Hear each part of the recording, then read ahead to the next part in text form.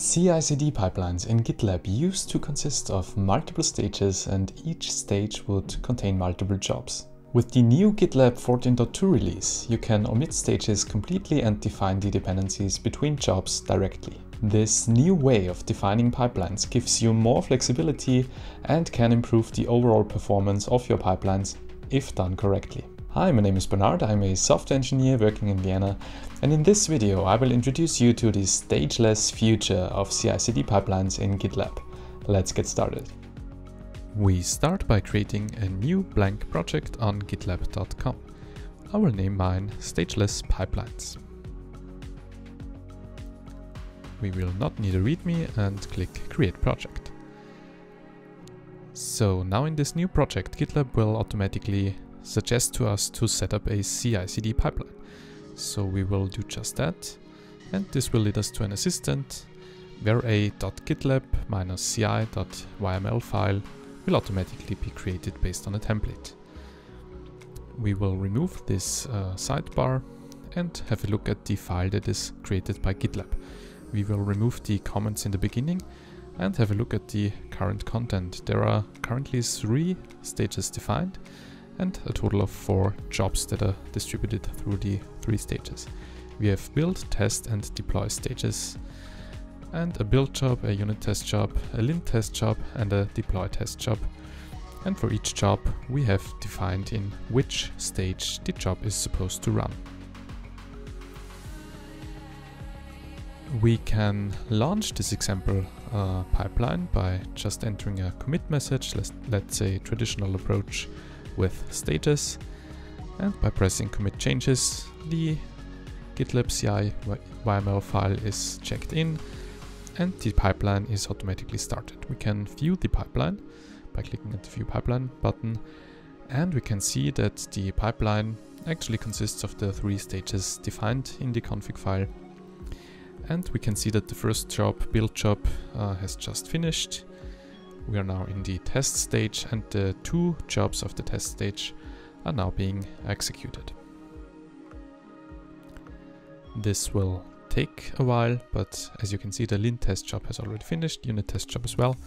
And now we can wait a few seconds for the deploy job. This is now also complete. And this is how the old world worked with stages and jobs inside those stages. But I want to show you now how this will look like without stages. So we go back to the editor and first of all we will remove all of the stages in the config file. Now uh, at this point in time we still have the stages defined in the jobs so we need to remove that as well.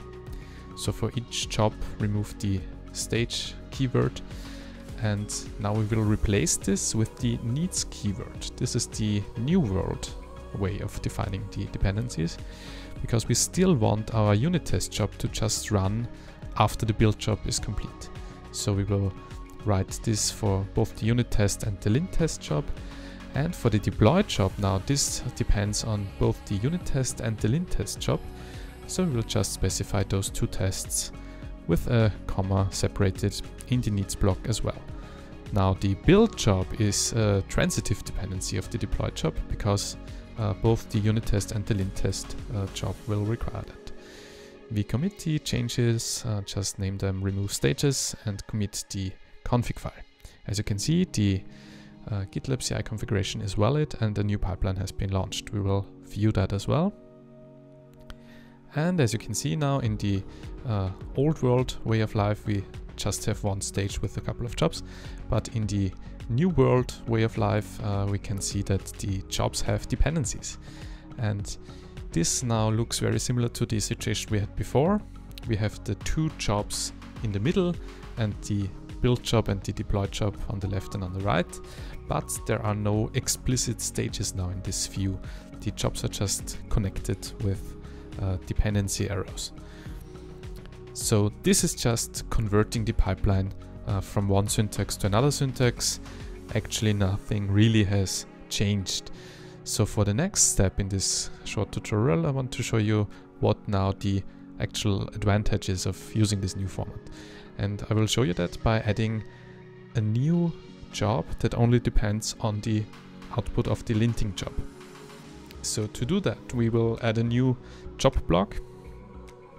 And in this job block, we will uh, name this job post lint job. And we want it to depend only on the uh, linting job to finish and not on the unit test one.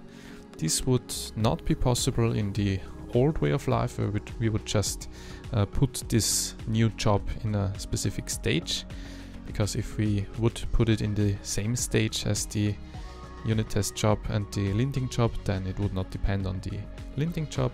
And if we would create a new stage well then it would uh, depend on both the unit test and the post linting job uh, on the linting job. So that's not really what we want here. Uh, we commit and view the pipeline and when we click show dependencies as expected this new post lint job only depends on the lint test job and not on the unit test job and as you can imagine if the lint test job is quicker than the unit test job then the post lint job actually can run uh, faster because it does not need to wait for the unit test job. In summary, in this video you have learned why specifying job dependencies directly can both improve the performance of your pipeline and make your configuration file easier to read. I hope this video was useful, please let me know if you have any questions and see you in the next video. Bye bye.